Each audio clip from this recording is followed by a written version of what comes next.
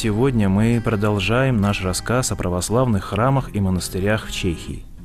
А начнем мы его с монастыря во имя святых Вячеслава и Людмилы, расположенного недалеко от Карловых Вар в небольшом городке под названием Новое Седло. Насельницы обители приехали сюда по приглашению и благословению предстоятеля церкви чешских земель Словакии архиепископа Пражского Христофора – Раньше они подвязались в Закарпатской области Украины в известном своими монашескими традициями Свято-Вознесенском Чумалевском монастыре. По словам игуменьи матушки Валентины, переезжать на новое место не хотелось, ведь Чехию называют самой атеистической страной Европы. Но настоятельница Чумалевского монастыря была настойчивая, говорила, вот именно потому и поезжайте. Разве апостолы шли не в безбожные страны? Спустя четыре года монастырь в Новом Седле стал уже местом притяжения для многих паломников. Чтобы попасть сюда в воскресенье на богослужение, некоторые прихожане проезжают более 150 километров. Свято-Вячеслав-Людмилинский монастырь славится своими просфорами. Их готовят не только для самой обители, но отвозят на подворье Русской Православной Церкви в Карловы Вары и даже для богослужений в православные храмы Праги, до которой не менее трех часов пути на машине. Что главное есть для просфор? Это, это дело не терпит отлагательств. Пришло время, надо делать. Три килограмма муки – это как одна приходила тоже подучиться кулинар, определила, что идет на эти 3 килограмма, ну, приблизительно 8 грамм дрожжей. Э, и три щепотки соли, небольшие, конечно. А так воды сколько возьмет эта мука до э, густого замеса. Лежит закутанный в тепленьком, ну и помещение должно быть желательно теплым, потому что от этого зависит его дальнейший как бы рост. Как нас учили, чтобы узнать, когда уже можно ставить печку, нужно как надавить на просфору, вот, например, через марль, вот так надавил. Если она в видимости поднимается, значит она еще растет. Ее в духовку ставить нельзя. А если через 15 минут эта ямка так и остается, значит можно открывать, водой смазал и прежде приготовленные верхи соединять с низами. Ну, низ, как это уже многие знают, это человечество обозначает, а верх – это божество. Просфоры – одни из главных составляющих совершающейся литургии. Сначала они попадают на жертвенник в алтаре храма – рассказывает духовник обители, игумен Анофрий Таменюк. Первоначальные э, в знак э, понесения э, в алтарь, внесения пять просфор и вина, оно обозначает жертвоприношение. Еще в древности э, христиане, когда приходя в храм, они приносили с собой э, просфоры, или, э, скажем, чтобы совершать божественную литургию. Пять просфор обозначает пять хлебов, на, когда Христос насытил э, пятью тысяч человек. Одна, одна из просфор является агнцы, которым э, берется во время, во время э, проскомедии, вынимается и ставится на дискос, о чем же и причащается всех верующих. Вторая просфора она именуется Божьей Матерью, в честь, в честь и знак Божьей Матери она выбирается – Третья парасфора, она имеет символическое значение, называясь девяточинная. И э, она выбирается, поминая святых пророков, угодников и тех имя, которые приносятся, которые празднование э, в этот день поминается святых. И окончание, скажем, в честь кого служится божественная литургия. Четвертая просфора а, имеет свое значение о том, что она выбирается, а, поминается о живых. Пятая просфора имеет свое значение о том, что она поминается о упокоении сопших сродников и всех от Каждую среду в монастыре святых Вячеслава и Людмилы служится акафист иконе Божьей Матери «Нечаянная радость». Эта икона, специально написанная для обители иконописцами из Рыбинска, почитается здесь особо. По приезде нашим в Чехию первая литургия была на День памяти иконы Божьей Матери Нечаянной Радости. Как-то особенно обращаясь к этой иконе, мы решили, что будем молиться ей усерднее, будем читать и кафеста, молебно служить, чтобы Господь помог и Матерь Божия устроить здесь православный центр, как вы знаете, монастырь. И с тех пор установлено в монастыре правило – каждую среду служить Акафист с молебной Божией Матери. В Свято-Вячеславо-Людмилинском монастыре уже есть свои традиции. Одна из них после каждой литургии – приглашать всех пришедших в храм на трапезу. На игуменском столе и на столе для гостей еда одна и та же. Здесь готовы разделить с паломниками все, что есть у самих –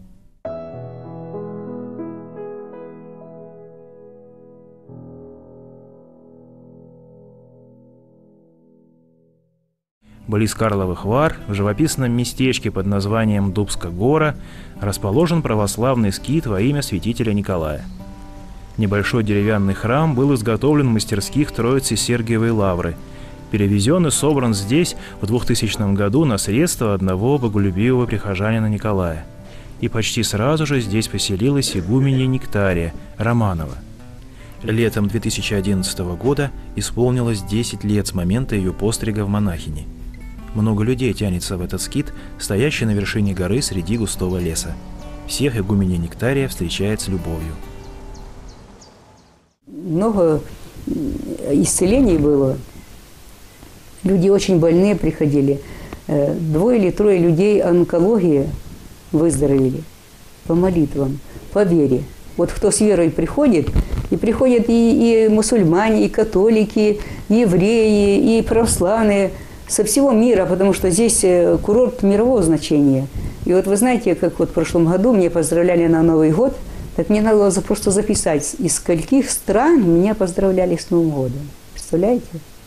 Вот люди приходят сюда и как бы а, обретают веру потихоньку. Потому что я покупаю, если я еду на Украину или в Россию, я покупаю много молитвенничков маленьких, иконок маленьких – потому что человеку удобно маленькую взять иконочку или молитвенник маленький, и учу их, как хотя бы «Отче наш» вы учите. И дарю эти иконочки, молитвеннички, вот.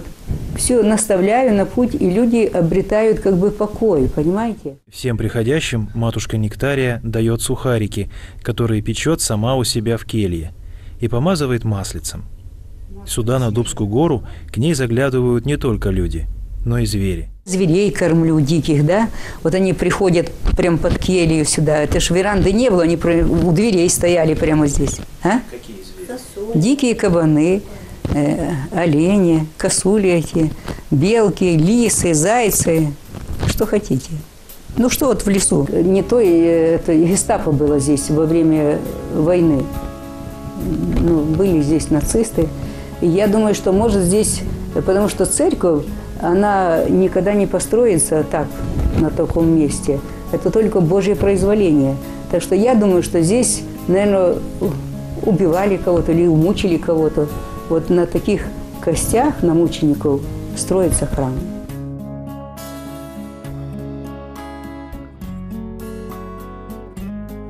Из Карловарского края мы отправляемся в Моравию – в монастырь, основанный в память о священном мученике, также пострадавшем от рук фашистов.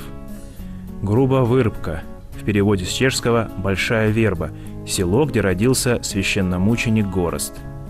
Сохранился дом, где он рос. А в то место, где сейчас находится обитель, будущий святитель ходил на занятия в музыкальную школу. Служение владыки Горозда выпало на годы, когда почти вся Европа оказалась под властью Гитлера – 1938 году Чехословакия была оккупирована. На территории Чехии и Моравии был образован так называемый протекторат. В мае 1942 года чешскими парашютистами был убит палач чешского народа обергруппенфюрер СС Гейндрих. Нападавшие укрылись в крипте собора Кирилла и Мефодия в Праге. Предатель выдал их местонахождение, и фашисты штурмом взяли здание храма. Чтобы отвести удар от православной церкви, владыка Горост взял всю ответственность за происшедшее на себя. После долгих и мучительных допросов он вместе со священником Вячеславом Чиклом и Владимиром Петержиком, мирянином Яном Саневельдом были расстреляны. 45 лет спустя в кафедральном храме Аламоуца в присутствии всех членов Святейшего Синода Православной Церкви Чехословакии во главе с блаженнейшим митрополитом Дорофеем состоялось прославление владыки Горозда в лике святых. Сегодня в нашем храме э, службы здесь протекают регулярно. Э, мы служим, стараемся служить каждый день. Э, великим дарованием нашей церкви есть именно то, что мы в храме проходим из много национальностей. Здесь чехи и русские, украинцы, сербы, румыны, булгары. Здесь тоже и грузины, греки. Значит, приходят и люди люди из Африки. Кафедральный храм в Аламоуце был построен в отмеченный недоброй славой 1937 год. Но это в Советском Союзе, а здесь шло активное строительство православных церквей. Под руководством святителя Горозда в те годы было построено освящено 14 храмов. Непосредственно строительством занимался русский эмигрант, ставший в Чехии архимандритом Андрей Коломацкий. Владыка Горос называл его ангелом с мозолистыми руками – Коломацкий также расписывал новые храмы. В том числе и этот в Велемове, где сейчас находится женский монастырь. Фрески Андрея Коломацкого отличают светлые тона и простота исполнения, как будто они написаны рукой ребенка. Воскресный день в храм Успения Пресвятой Богородицы села Велемова вместе с женой Евой и сыновьями Адамом и Филиппом приходит Роман Юрига. Я и моя пани мы вырастали в добе коммунизму. Мы росли с женой во времена коммунизма, когда невозможно было даже подумать о православии. А ведь вера христианская — это самое важное из того, что мы можем иметь и что мы можем передать другим поколениям. Э, православная вера, которую мы мы целую неделю работаем, делаем массу дел. Эти дела нелегки. И должна быть надежная цель, чтобы было понятно, от чего мы исходим и куда должны прийти. Поэтому в воскресный день мы всей семьей идем на богослужение. Когда мои дети говорят, мы бы лучше посмотрели телевизор, я им отвечаю, хорошо, исполнится вам 15-16 лет, станете взрослыми, будете иметь свободу. А пока я за вас в ответе, и я не хочу, чтобы дьявол вас искушал.